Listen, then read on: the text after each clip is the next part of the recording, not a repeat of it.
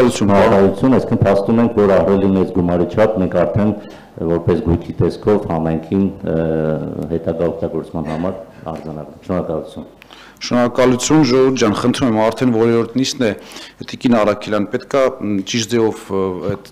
սկսենք օգտագործել էլի։ Ես փորձեցի երևի վարքյանների տարբերությամբ ու շատ սա եղել խնդիրը։ Դե եկեք Հարց ունեմ ուղակի զեկուցողը։ Համեցեք, բայց եկեք այսպես պայմանավորվենք, այլևս ես եթե գրանցված չլինի, հա, մեր ավական անդամը այլ խոս չեմ տալու եւ նեղանալ չլինի։ Շնորհակալ եմ։ Համեցեք։ Պարոն Սարգսյան, ես պարզապես ցանկանում եմ, որպեսզի հստակ նշեք, թե Գորան Բրեգովիչին Երևան հրավիրելու համար որքան է այն արժեցել մեր պետական բյուջեի վրա, քանի որ բյուջեում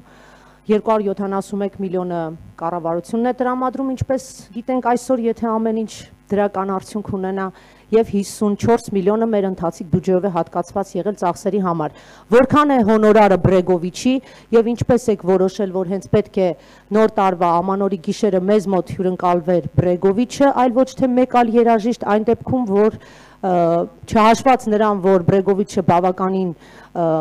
աշխարհահռչակ եւ տաղանդավոր երաժիշտ է, սակայն հայ հանրության համար ոչ այդքան շատ հայտնի։ Շնորհակալություն։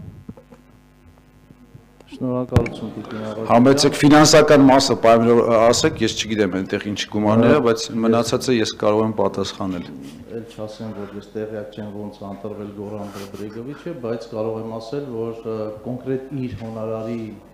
թվերին տեղյակ չեմ, ինչու, որովհետև ընկերություն է կազմակերպում